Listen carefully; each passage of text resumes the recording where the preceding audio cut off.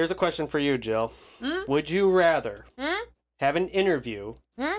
with Alexa Bliss Oh. or work out with Rhea Ripley? Oh shit. I saw this question earlier today and I had to ask you. Oh. I mean, I love Alexa Bliss, but I'm working out with mommy all day, every day. Mommy, mommy, mommy. Mommy always gets it. Rhea Ripley, I, don't, I, I probably wouldn't even be able to keep up with her and her workout routine.